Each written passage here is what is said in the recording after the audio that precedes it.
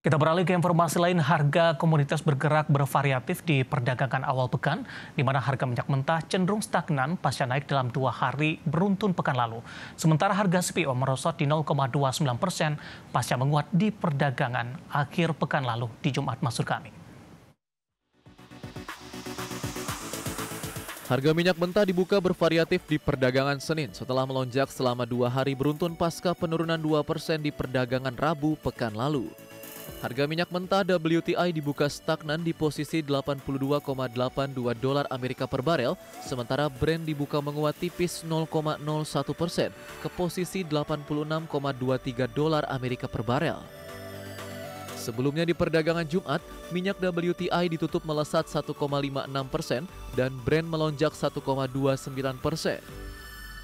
Harga minyak melanjutkan tren kenaikan di hari Jumat pekan lalu yang menyentuh level tertinggi sejak pertengahan April setelah produsen utama Arab Saudi dan Rusia berjanji tetap menurunkan pasokan.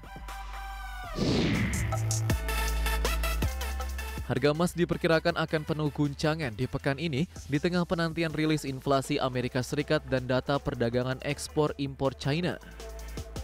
Di pembukaan perdagangan Senin, harga emas menguat tipis 0,07 persen di posisi 1.942,97 dolar Amerika per troy ounce. Penguatan ini memperpanjang tren positif emas.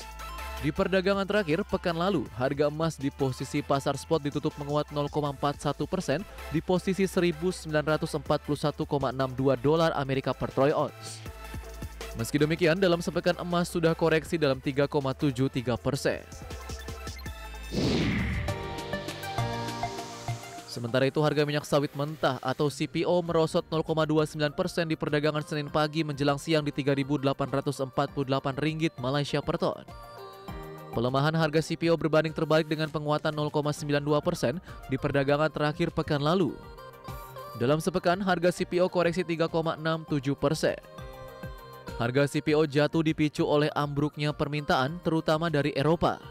Impor CPO Eropa hanya mencapai 952.274 ton di Januari hingga Juli 2023.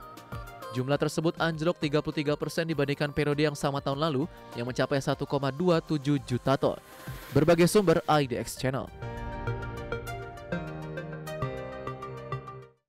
Dan bagaimana update terkini harga sejumlah komoditas yang berhasil diimpun oleh tim redaksi kami sampai dengan sore hari ini waktu Indonesia Barat.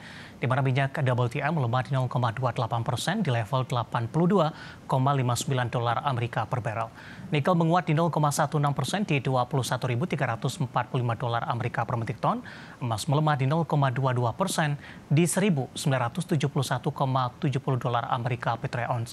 Sementara CPO melemah di 0,49 persen di level 3.800 ringgit Malaysia per tonnya.